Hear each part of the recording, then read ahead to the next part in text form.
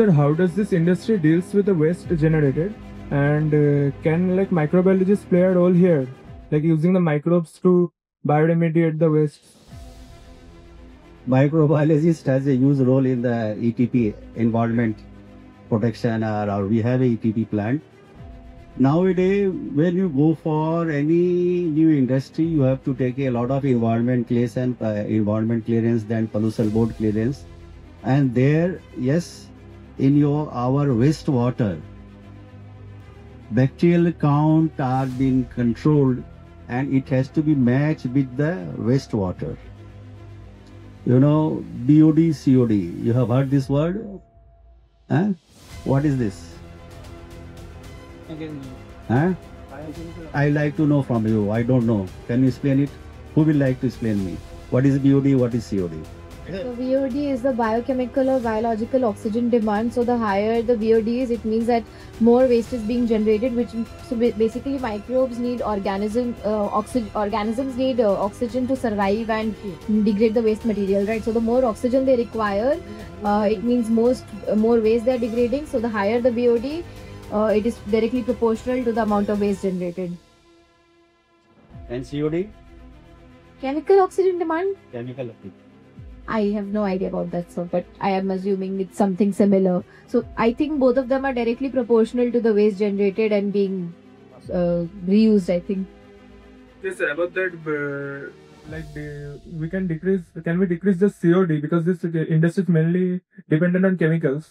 So can we like use the microbes uh, or some uh, microbial methods to decrease the COD? But I like to know what is COD. Sir, uh, I will make a guess like uh, as this industry deals with chemicals, so maybe the chemicals um, uses the oxygens and lowers the oxygen content in the water. So that is what COD is. Okay, you have some idea. Okay, but what happened in our water? In our water, we have a two quality. You know, say normal water in the Ganga, in any river, if oxygens are less with the required quality, required amount, in water there is some oxygen, you know. If oxygen is less than the minimum quantity it has to be, then what will be happen? So it will be against the ecological disbalance will be there. Fish, normal fish will be not be, what are the living organism of water, they will die, including fishes. So any industry pollution goes to that water, water get contaminated and COD, BOD level get disturbed. COD chemical oxygen demand, it is been oxygen are been measured by what is the chemical demand by measuring the through chemical and what are the biological oxygen demand of that water. Those are been measured and those have been maintained by a microbiologist when the wastewater is being released in the environment. Sir, about this waste, like uh, are heavy metal wastes being generated? Like, is it a big problem? And if it is, then we can use microbes to remediate it. Like microbes can absorb the heavy metals and reduce the load.